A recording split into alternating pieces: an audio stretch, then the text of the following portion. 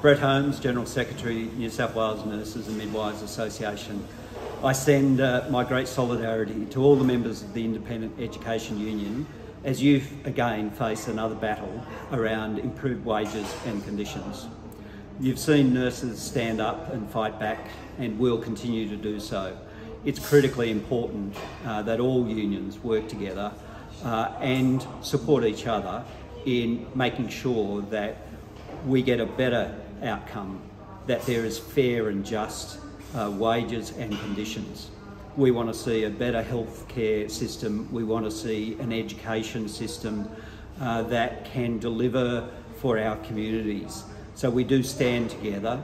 Um, we all go to work every day to deliver a better New South Wales, a better country, and our members uh, deserve to be properly recognised and rewarded for that.